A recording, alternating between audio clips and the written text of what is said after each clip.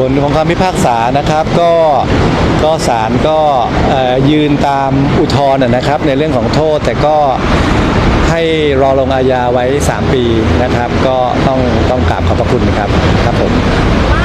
จากที่เราได้ได้มีการต่อสู้คดีพยานหลักฐานต่างๆมานี่พอผลออกมาอย่างนี้นี่มีความรู้สึกยังไงบ้างคะตลอดระยะเวลาที่ผ่านมาผมก็ผมก็เข้าใจแต่ละฝ่ายนะครับว่าก็เป็นมุมมองของ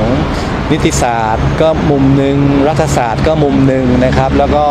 ในเรื่องของภาคประชาชนเคลื่อนไหวก็มุมหนึ่งครับก็ออกมาอย่างนี้ก็ก็โอเคครับก็ยังไงศาลตัดสินออกมายังไง ผมก็น้อมรับคำตัดสินอยู่แล้วอะครับนี่ถือว่าเป็นชั้นฎีกาแล้วแต่ว่าหลังจากนี้อะค่ะในในการดำเนินกิจการต่อไปเราจะทำยังไงต่อไปอะคะเอ่อตอนนี้เราก็ ดำเนินกิจการภายใต้การอนุญาตของรัฐอยู่แล้วนะครับ ผมก็คิดว่าก็คงไม่ได้มีปัญหาอะไรนะครับ แต่ว่าในจุดที่เราเริ่มต้นเนี่ยเราก็เริ่มต้นต่อสู้มาในเรื่องของภาคประชาชนมานะครับ เราก็ต้องยืนหยัดในเรื่องตรงนี้ต่อไปนะครับ ก็ก็หวังว่าเราคงจะทำให้ให้มันเกิดสิ่งที่ดีๆ ขึ้นกับสังคมไทยขึ้นมาครับ